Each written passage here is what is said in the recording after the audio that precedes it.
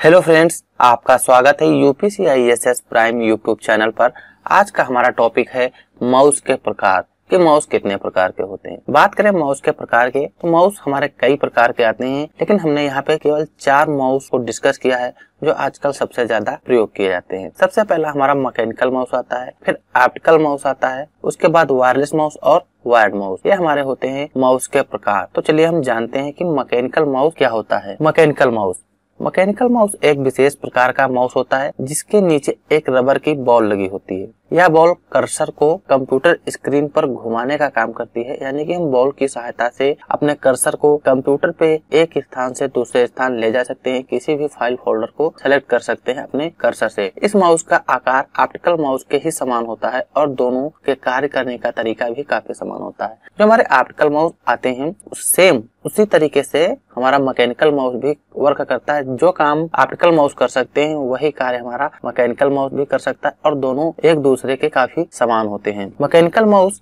का उपयोग कांच वाली सतह पर किया जा सकता है और इसका उपयोग करना बहुत ही सरल होता है। इस प्रकार के माउस बहुत अधिक समय तक चलते हैं जो हमारे मैकेनिकल माउस आते हैं। अगर एक बार ले लिए तो ये काफ़ी लंबे समय तक चलते हैं और इस प्रकार के माउस यूज़र को अधिक सटीकता प्रदान करते हैं। यानी कि यूज़र को चलाने में बहुत ही सरल होता है मैकेनिकल माउस। फिर उसके बाद हमारे आते हैं ऑप्टिकल माउस।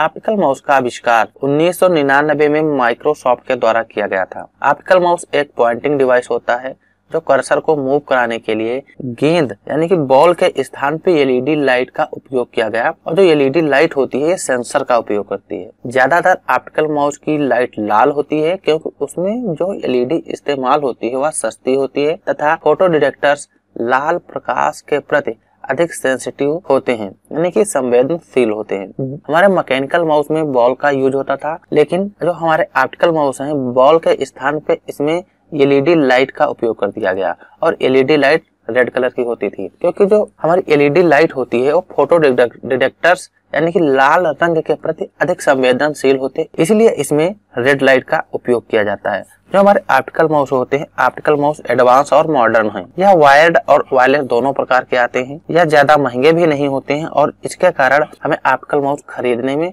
बहुत ही आसानी होती है। फिर इसके बाद हमारा आता है वायरलेस माउस। कि वायरलेस माउस क्या है? वायरलेस माउस एक प्रकार का माउस होता है जिसे कंप्यूटर के साथ जोड़ने के लिए हमें किसी भी प्रकार के वायर की ज़रूरत नहीं होती है और इसको हम अपने कंप्यूटर के माध्यम से वाईफाई, रेडियो तरंगे और रेडियो फ्रिक्वेंसी का उपयोग करके कंप्यूटर से जोड़ सकते हैं। वायरलेस माउस में ट्रांसमीटर और रिसीवर का उपयोग किया जाता है, जो सिग्नल को भेजते हैं और प्राप्त करने में मदद करते हैं। ट्रांसमीटर का काम होता है सिग्नल को ट्रांसफ़र करना, यानी कि एक स्थान से दूसरे स्थान पे भेजना। कोई हम डाटा भेजते हैं तो वो काम ट्रांसमीटर का होता है और रिसीवर का काम होता है सिग्नल को प्राप्त करना, यानी कि एक स्थान से जो डाटा भेजा गया है, उसको रिसीव करना, प्राप्त करना, ये हमारा रिसीवर का काम होता है। अगर दूसरे शब्दों में कहें तो जो हमारे वायरलेस माउस आते हैं, इसमें किसी भी प्रकार का तार इस्तेमाल नहीं होता है और इस माउस को हम कॉर्डलेस माउस के नाम से भी जानते हैं वायरलेस माउस को। इस प्रकार के माउस की रेंज काफ़ी अच्छी होती है।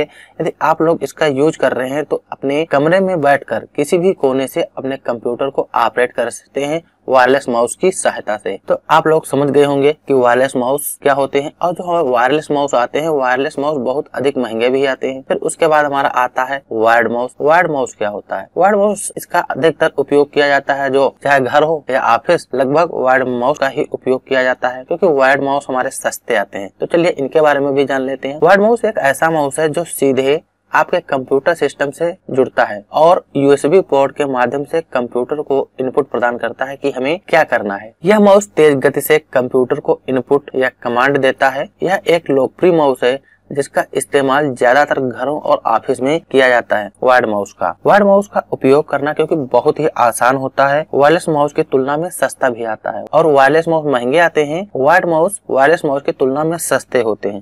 जैसे एग्ज़ाम्पल के लिए हमने मान लिया, वायरलेस माउस खरीदा, अगर वायरलेस माउस माउस की कीमत पाँच सौ है तो वायर्ड माउस की कीमत लगभग तीन सौ होगी। और वायरलेस माउस की तुलना में वार्ड माउस बहुत ही अधिक गति से कार्य कर सकते हैं। तो आप लोग समझ गए होंगे कि हमारे माउस कितने प्रकार के होते हैं और हर प्रकार के माउस का अलग अलग कार्य होता है। देखने के लिए बहुत बहुत धन्यवाद। हम मिलते हैं अगली वीडियो में।